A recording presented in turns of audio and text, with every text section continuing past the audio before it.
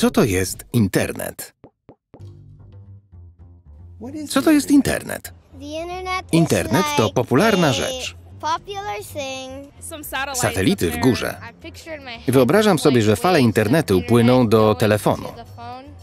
Słyszałam o chmurze. W internecie, jak w wodociągach, zawsze jest ruch. Większość osób nie wie, skąd się wziął internet, bo wcale nie muszą.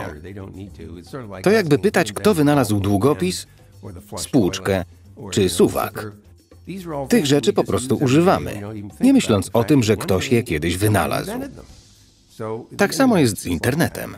Dawno temu, na początku lat 70., mój wspólnik Bob Kahn i ja zaczęliśmy projektować to, co dziś nazywa się internetem. Wynikało to z innego eksperymentu o nazwie ARPANET sieć agencji zaawansowanych projektów badawczych.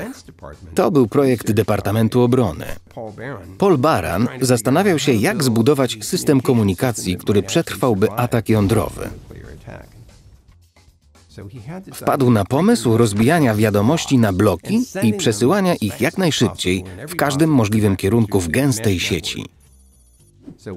W końcu stworzyliśmy sieć, która pokryła cały kraj i działała.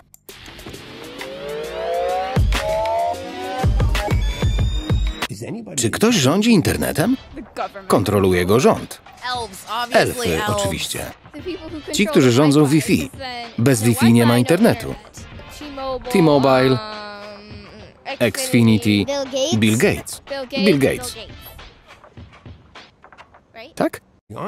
Odpowiedź brzmi nikt, albo inaczej każdy. Internet składa się z olbrzymiej liczby niezależnie działających sieci. System jest równomiernie rozłożony. Nie ma centrum decydującego, którędy płyną pakiety danych, gdzie powstają fragmenty sieci, ani kto łączy się z kim. To są decyzje biznesowe, podejmowane niezależnie przez operatorów. A oni starają się zapewnić możliwość połączenia między wszystkimi punktami sieci, żeby każde urządzenie mogło mieć kontakt z innym. Jak telefony na całym świecie. Niczego takiego przedtem nie skonstruowano. Myśl, że Twoja wiedza może się przydać komuś innemu i na odwrót, daje silną motywację do dzielenia się informacjami. Zresztą tak właśnie rozwija się nauka.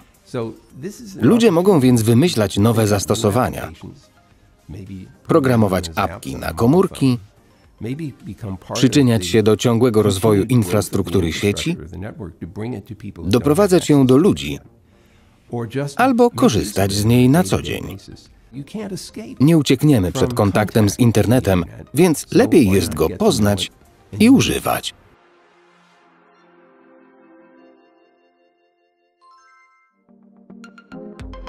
Dowiedzcie się więcej o działaniu internetu.